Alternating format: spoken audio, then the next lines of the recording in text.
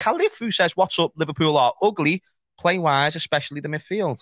Uh, yeah, I think I think that actually might be a Liverpool fan who's just emphasising the ugliness of how we're playing at the moment. Um, I Antic thought host, he was calling us ugly then. I was going to cry. Nah, he wouldn't be too wrong about that either. No. Um, besides Rubi, uh, Antico says, "I do not want to see Chamberlain on the wing versus Brighton." Is this a notion that you used to agree with? No.